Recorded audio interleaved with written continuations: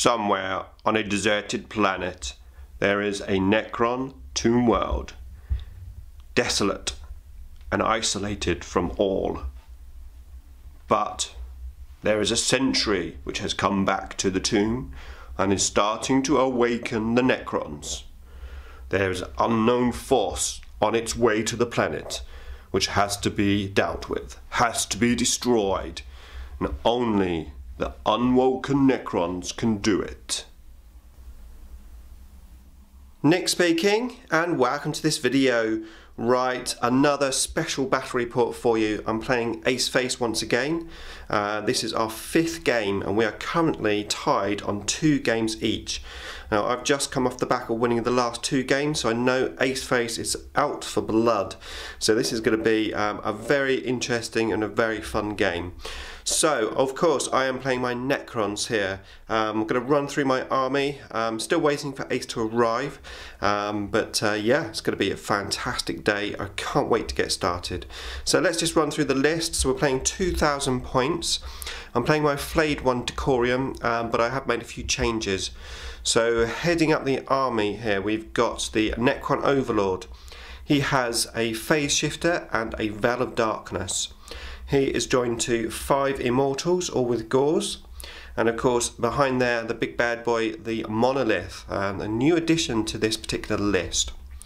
We then run with two squads of 10 warriors, they're just going to be on foot, and uh, three Tomb Blades. Now, these are the old Necron Destroyer models, the metal models that uses uh, Tomb Blades.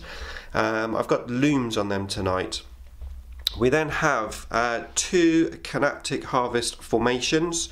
At the back there, six wraiths in each, um, and they've all got whip coils. We then have the two tomb spiders, and both of those tonight have got the um, fabricator claw array, uh, hopefully to try and help the monolith uh, stay alive a little bit longer. And uh, of course, three obligatory um, scarab swarms. We then have eight uh, auxiliary formations or auxiliary units, um, and we have eight squads of five flayed ones. So as I said, I'm pretty much using my Flayed One army, but I have tweaked it a little bit. Um, playing Maelstrom missions. Um, like I said, I'm waiting for Ace to uh, arrive. Um, I have set the table up already.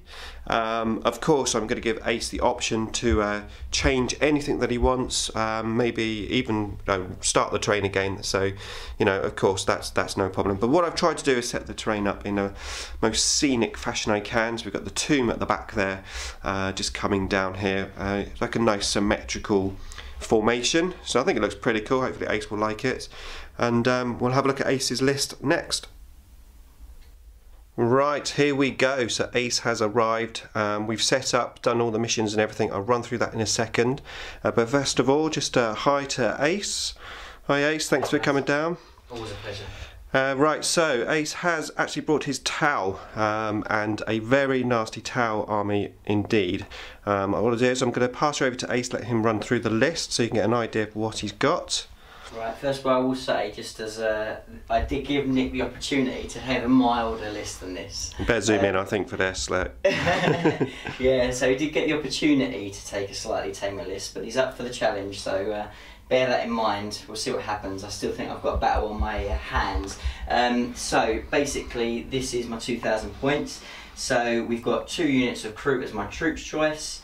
Um, I have as my warlord still to come in. I have Shadowsun um, and she has got her command drone with her. Um, I have the two fast attack uh, white-eyed riptides, both absolutely kitted out the same. So they have interceptor and they have feel no pain. Um, I have one standard ion riptide. He has interceptor, is obviously the ion cannon, and he has the twin linked fusion blaster. Um, I then have a unit of four Pathfinders, my new girls. Um, so they're stand-ins for the Pathfinders. Um, just again minimum squad there um, and then I have the formation which is the uh, stealth um, formation which consists of the Ghostkeel and the Ghostkeel is kitted out with his uh, fusion um, blaster as well as the fusion small blast gun as well and he has his uh, uh, is two drones that come with him, and then two units of stealth suits. One is with Shadowsun at the moment, who are outflanking, um, and then we have another unit. They're both exactly the same. So two burst cannons, one fusion. The fusion's your captain guy, and he has got split fire. We have two marker drones again on both units. Um, so that is them. Shadowsun's unit has the um, their command um, drone with them. Um, and then last but not least, the big guy, so only just sort of started painting him at the moment, but it was too much of a good opportunity to bring him down and see what he did. So that is the Supremacy suit. He has got his um, ion arms, uh, I can't remember the exact name for them, um, so he's got them, and then obviously his main big gun is just kit 600 points of total nastiness. Um, so yeah, my Tau were unbeaten, unbeaten when I uh, took them to, to Nick's last time. So they definitely feel that there is a point to prove, and this is the nastiest 2,000 points I could put together. So it will be interesting, but with so many units, it's going to be tough with those objectives. So we'll see.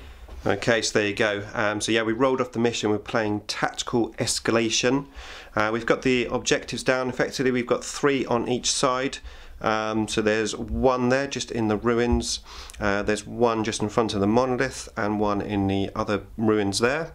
And on the Tau side we've got one in that piece of terrain, uh, one behind that uh, tomb and one just behind that tomb.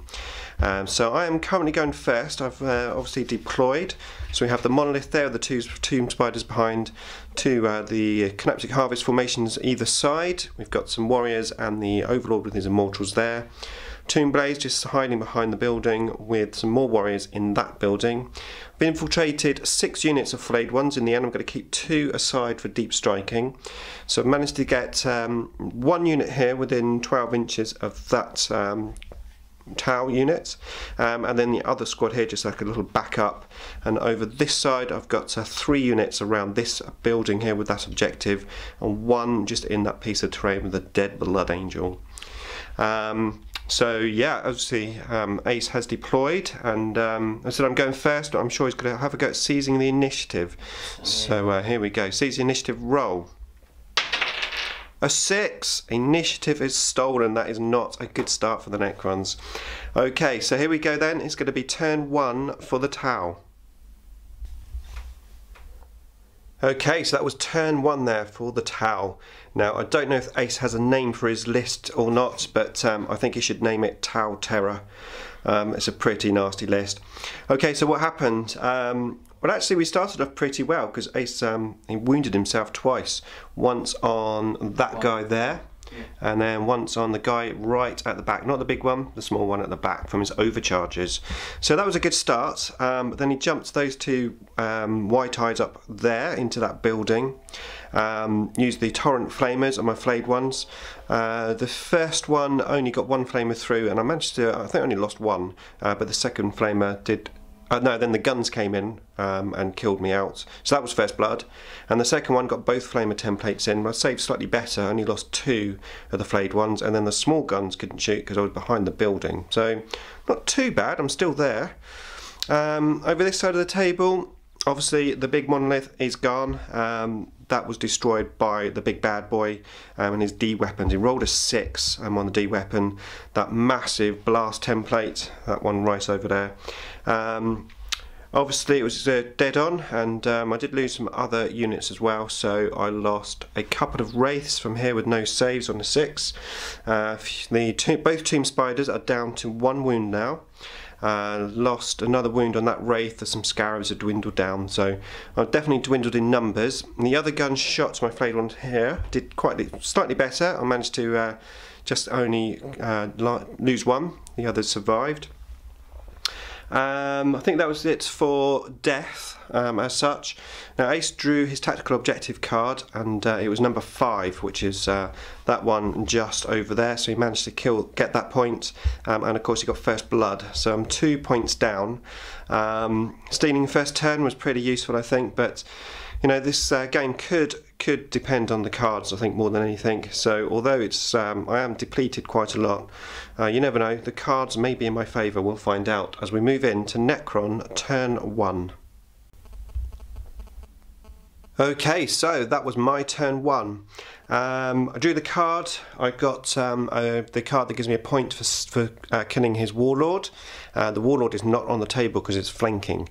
So um, on a bit of a back foot here, um, decided I had no choice but just uh, to be a bit aggressive and just go for it. So that's what I've done. So I started off giving RP to both um, formations. Uh, sent the wraiths out over there. Uh, the flayed ones there, um, obviously because I infiltrated I wasn't able to assault so I just uh, hung around in that building there. Um, moved the flayed ones up into the um, dangerous terrain there, gives me slightly better cover save in there. Uh, generated two scarabs on that unit that was uh, down to just two already. Um, and then just moved the whole blob forward really here, just moving and running forward. Uh, I moved the tomb blades there, I moved and ran the flayed ones up onto that piece of uh, terrain, and the other flayed ones went up over there. Um, and then I tried to assault the flayed ones to that riptide there. Um, I needed a 10, um, but I didn't get uh, in. However, I did manage to uh, get in over here. I needed a 9. Uh, managed to get in on that unit of stealth suits, um, and I managed to get, uh, I think it was 6 rending attacks through. So uh, wiped those out with ease, just consolidated there, just hanging around that objective. So um, yeah, that was my turn one. Uh, no points scored, but um, we push on as it uh, goes into turn two for the Tau. Okay, so that was uh, turn two there for the Tau. Uh, the reserves came on, so uh, the Warlord there just um, flanked and then uh, shot the marker lights up over to my wraiths um, and then just uh, use the jump pack move just behind that building there. Um, over this side of the table, the two Riptides came up around this building area to use their torrent flamer things. Um, they managed to, well, one of them managed to take out the good chunk of the flayed ones. The two flayed ones that were left are running, um, and that Riptide moved up in its jump move just uh, there. Uh, the other one targeted the uh, wraiths, um, killed one wraith from the, the flamer and guns, um, and then just jumped back there as you can see um, in the assault phase. The big guy there, um, he shot um, along with the Kroot and that guy at the back, whoever that is, um, at my wraiths, um, and I, I rolled really solid there. Uh, I think I lost one wound on a wraith. That's pretty much it. Um, the big guy then shot the massive blast um, up over this area. Um, got a little bit of a scatter, but I sort of uh, basically I did pretty well there. I was pretty lucky because both of my tomb spiders on one wound each. Remember, uh, managed to survive. I did lose a couple of scarabs and uh, the two flayed ones that were just hanging around there, um, but that wasn't too bad. I was quite happy with that, to be fair. Um, and then I got assaulted by a big guy there. Um, I did manage to do a wound, which is quite useful. Actually, this guy here also took a wound from the overcharge. Um, and then I lost a couple of wraiths uh, from his stomp attacks. Um, and that was pretty much it. Uh, the Tau objective cards um, he didn't actually manage to achieve. One was to uh, get the objective that I'm on, and the other one was to uh, clear me off an objective and take it. So failed both of those. So I'm still two kill points or victory points to zero down. Um, but we've got turn two, and I've got my reserves to come in. So uh, turn two for the Necrons. Okay, so that was my turn too. Uh, both the flayed one units from reserve, they stayed in reserve. Um, so I decided to take the bull by the horns and uh, basically just have a bit of fun because I think I'm really going to struggle uh, to, to get anywhere in this game. So I decided just to have some fun. Uh, so my first move um, after drawing another objective card uh, that I had to get basically objective number five, which is that one right the way over there. Uh, so my first move was to use the Veil of Darkness with the Overlord and the Immortals. I went there, I scattered 12 inches, uh, landed on the Riptide and then uh, went into ongoing reserve. I gave a RP to both of the formations. The Wraiths of course were out of range. Um, I then generated two Scarab Swarms um, on the bigger units of uh, Scarabs, sent both Scarab Swarm units over towards that Riptide.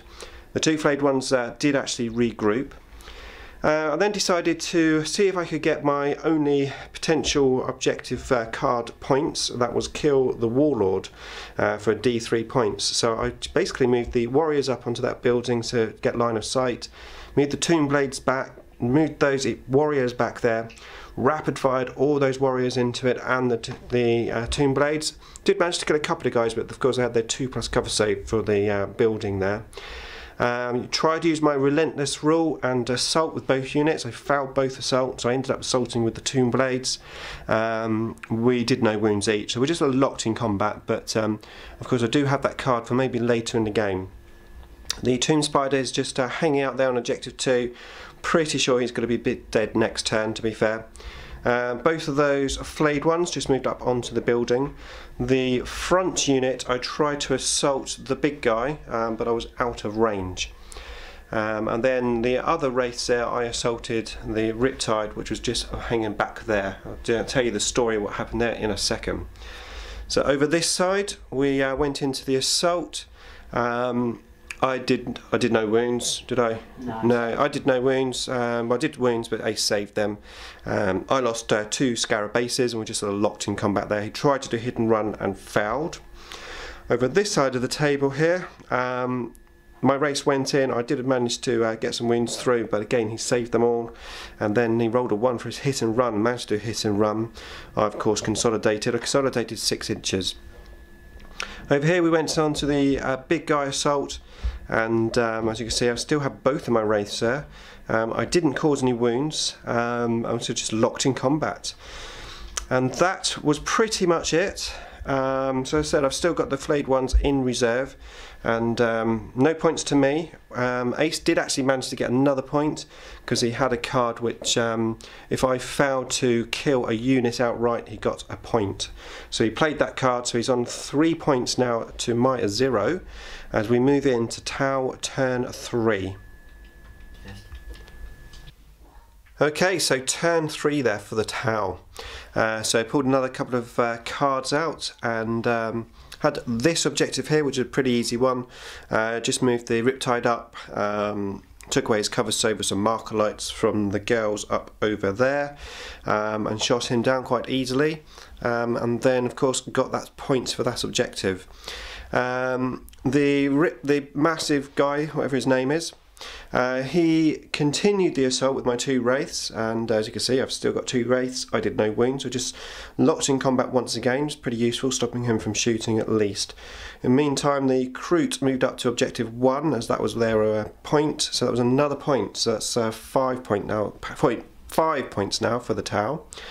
Uh, everything else here uh, shot my wraiths. Um, I did lose a one wraith, um, and then in the jump phase for the assault moves. They just basically got onto objective 5 because that's one of my cards and um, just just basically holding out there. Um, that guy at the back there he's just basically jumped up. He was in combat here but uh, uses special overcharge rule and he's gone into ongoing reserve so that is it. Apart from the little assault here, uh, tin spoons, I did manage to kill one of the stealth suit things. Uh, I was saved really well there, um, so we're just locked in combat. Okay, so it's going to be turn three for me, and I have three reserves, two units of flayed ones, and the Overlord with the Immortals. So uh, still, still more to play for, um, but I think it's ultimately going to depend on what cards I pull out. Okay, so turn three for the Necrons. Okay, so that was my turn three. Um, all of my reserves came in, and um, I had some pretty good plans for them, to be fair, um, but it all went wrong. So let me uh, explain what happened. So um, I drew out a card which uh, gave me a point for killing a monstrous creature. Um, so I sort of decided to have a go at getting the Riptide that was on the objective number two. Um, so I deep striked a a group of flayed ones just there. The idea being to, to hold them out for one turn, survive here, and then assault them the next turn to try and get my D3 Warlord um, result. Uh, moved up these guys and the warriors into rapid fire range, and the two flayed ones that were there into assault range of the Riptide that was there, Riptide. Um, the other units of flayed ones I deep striked here. Um, tried to go on the objective, scattered off, so just ran back a few inches. And I took the scarabs that were there over here to assault the uh, Pathfinder girls that were there. Um, I then tried to deep strike the Overlord down. My idea, because he's got the Staff of Light, was to try and take out that guy there, um, who's just got a 3 plus save. And then I was going to use the Wraiths to assault the guy at the back. Um, as it was, I came down, I scattered, uh, mishapped, and I rolled a 1. So I died, lost uh, Slay the Warlord uh, there. So, um, alternatively to that, I took the Wraiths over and decided just to go for squishy units because um, there's no way I'm going to get through those, I thought. So, I went over there with the Wraiths, um, targeted the little Kroot unit, uh, took the flayed ones off of there. The, the back units there had to run to get closer. Uh, went into those Kroot with the flayed ones. Uh, I then shot, rapid fired all of those guns, uh, shot those, a few of them rapid firing at the Riptide that was there. Um, I did no damage at all, so I proceeded to assault. Um, I did get a wound off from his overcharge. It's the only way I can get a, a wound off a Riptide at the moment. Uh, so he overcharged in Overwatch and lost a wound. Saved it on No Pain. Did you? Oh, oh no. Oh. He actually saved that wound, yes, that's right. Feel No Pain saved him. Uh, assaulted, no wounds done. I lost a couple of flayed ones. Um, basically, he did feel no pain. No, he did um, hit and run. Rolled another one successfully. Came down here, and obviously, my flayed one plan to get Slay the Warlord has just gone disastrously wrong. Um, yeah, that's not good.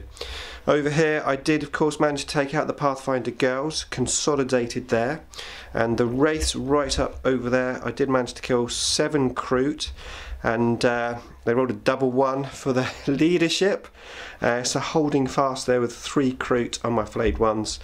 Um, and then over here I lost one of the flayed ones um, two from Overwatch and then one in the assault. I killed uh, I think I said one, one Kroot, so it was a lot to combat. So we just tied there. Um, I did lose one Wraith to the big guy, um, but yeah, still holding him in, in combat, which has been pretty useful because his firepower is absolutely atrocious.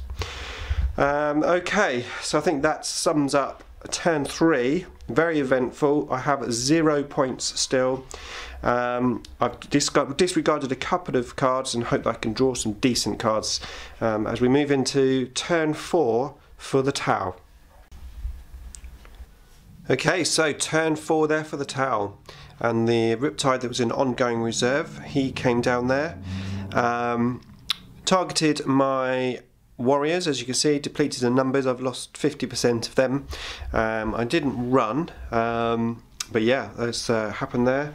This Riptide here did what uh, we thought he was going to do, came over, um, shot, and then assaulted the flayed ones that were there, uh, wiped them out, and that was actually another victory point because he had a card um, to kill a unit in the assault. Uh, so that was a victory point. Here we did no wounds each.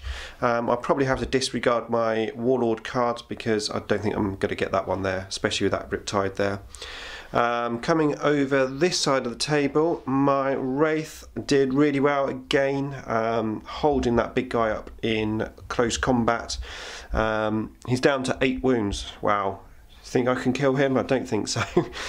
uh, the Kroot um, and that single flayed one went into assault. I won the assault and uh, swept them. Uh, so I just consolidated onto that one point objective. And then over here, um, I decided to, well, I got assaulted by the Riptide, as you can see. I then decided to go for the three Kroot, try and uh, make the Riptide take a leadership check. I only killed two, um, and uh, he did. He did. He killed a wraith, and then we um, uh, looked in combat. The single Kroot did actually run just four inches there, um, but the Riptide obviously he didn't.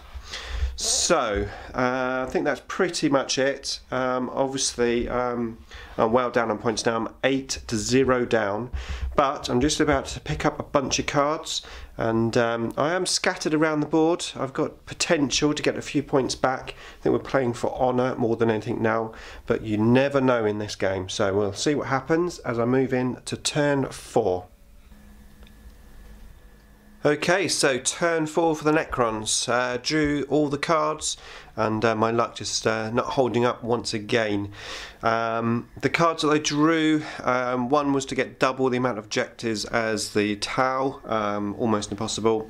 Uh, the next one was to try and get this objective here. Um, I did my best. I rapid fired the five warriors that were there and also uh, shot those guys in. Uh, no damage. I assaulted, no damage, and then he did another good hit and run roll, rolled a two and ran away. Um, over this side here, just down here, we continued the assault. I lost one more Tomb Blade, um, held in combat though, so uh, we're just uh, rocking there. Uh, down here, the flayed ones here just moved on to this objective. It wasn't one of my cards, but um, just aiming for the future, just actually trying to get a point at some point. Um, took the two Scarab Swarms into that guy there. Um, I lost two um, in the assault. Um, I did absolutely no damage and uh, obviously fearless, so I stayed locked in combat. Took the units of wraiths, uh, sorry, uh, flayed ones which were there into the assault. They couldn't hurt it, but hopefully just trying to lock him in close combat. The wraith survived once again. Of course, I did no wounds, um, but stops him from shooting at least. And then over here, I rolled absolutely atrocious. Um, I caused no wounds. Uh, the card that I had was to try and get that objective, objective 6, but absolutely no chance. I do have a single Wraith just running loose there. He tried to assault the Riptide at the back, but um, failed. So once again, absolutely no points for me. Uh, so we're looking still 8 points to 0. Uh, turn 5 coming up, potentially the last turn. And I think now, my key now uh, for me is just to at least get one victory point. As we move in to turn 5 for this very nice, powerful Tau army. Right, okay, I'm actually back because um, just I had another look at the cards and the board and in actual fact I have scored one of my objectives. So um, yeah I control um, this objective here and I control this objective here too. Um, and the Tau controlling that one up over there. So I actually have twice uh, the amounts that the Tau have. So I have a D3 points. So let's roll off and see what I get. A three. So I've got two points, so uh, not too disastrous there. Okay, so we're actually going to go in now to turn five for the Tau. Okay, so turn five for the Tau. Um, change uh, of tact really for the Tau there. Decided just to basically uh, hold everything up of mine in close combat as best as they could. Um, this Riptide came over, shot the flayed ones, but uh, somehow managed to survive. Um, assaulted me. Um, and then you took a wound, but how do you take a wound? I took it now. To overheat and take a wound. Possibly. Yeah, okay, we're going to say he overheated, we can't actually remember. But basically, he took a wound, uh, killed no flayed one, so we're just locked in combat there. Um, over here, this guy came up, shot uh, my warriors. I lost uh, three in from, from shooting, uh, assaulted in, uh, no damage either way there, so we're just locked in combat. Uh, the combat continues here. Again, no damage done. Um, I lost one wound on this guy here, on this assault, but uh, again, just locked in combat. Uh, lost my two Scarab Swarms there, uh, so objective 5 free for the Tau to take, although they didn't actually have that particular card. And over here, uh, Tin Spoons, no wounds again. Uh, so Tau got one extra point for killing a unit, which was the Scarabs, something like that. Anyway, basically one extra point for the Tau. Um, so I'm in deep trouble now. It's nine points to two. Um, so we'll see what happens. It's going to be a very quick turn five for the Necrons. Okay, so turn five there for the Necrons. Uh, drew my cards out. Again, not great cards. Had to control three objectives. Uh, objective number six, which is the one right down the end of the table. Um, not too much to do. I moved those guys up just to get in range to shoot there, which I did. Uh, he made he did that uh, special rule, which made me only be able to snapshot him. Um, and then the single flayed one that was hanging around there, I put him into the assault with that Riptide. And as you can see, the Riptide is dead. Uh, managed to kill him off, consolidated onto the objective number six, which is one point. point, and I'm also within. Um, obviously, I've got the line breaker there as well. Um, and then over here we continued this assault, no wounds, as you can see my Wraith holding fast, potentially man of the match I would say. Um, over this side of the table we um, battled it out but no wounds done on either side. Um, over here again we battled it out and no wounds. The main event though was uh, around this way so yeah I finally lost my Tomb Blades. I did manage to kill one more stealth suit um, but yeah just hanging out. So, I gained another point, so it's now 9-3 to the Necrons. That Riptide there was just on one wound, so potential, there is still potential for me to at least get uh, maybe a slightly more respectable score if the game goes on. So uh, we're going to roll a dice and see if it continues. Here we go. A one, no, game ends. So there you go. Um, an excellent victory for Ace and his Tau. So well done, Ace. It was coming. I had to bring the cheese to do it, but it, it was there. It was a really enjoyable game. Um, I hope you enjoyed the battle report. Um, obviously, Ace has his own channel, and uh, he will be doing a uh, battle report of the uh, game from the Tau point of view to see how how nasty my Necrons looked from the Tau point of view. so yeah, don't forget to check his channel out. I should put a link in the description below. Um, thanks for watching as always, and uh, I'm sure we will be facing each other once again in the future. Thanks for watching.